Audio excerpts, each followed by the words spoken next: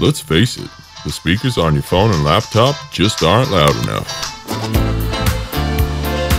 Grab a speaker kit from Trash Amps and you can build your own mason jar speaker with only 21 solder joints and some simple assembly.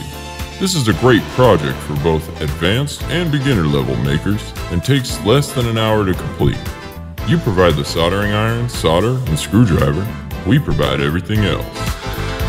Now you can take those tunes from your smartphone to a whole new level. Plug the speaker into any device with a headphone port and enjoy surprisingly powerful, full range sound. Oh, yeah. You can also plug the speaker into an electric guitar and rock out anytime, anywhere.